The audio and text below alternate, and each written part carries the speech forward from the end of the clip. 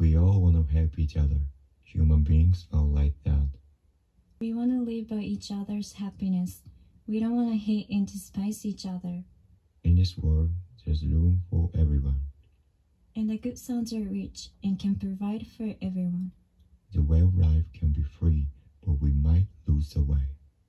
Greed poisons your soul, but the sound we produce will be able to freshen you up. And.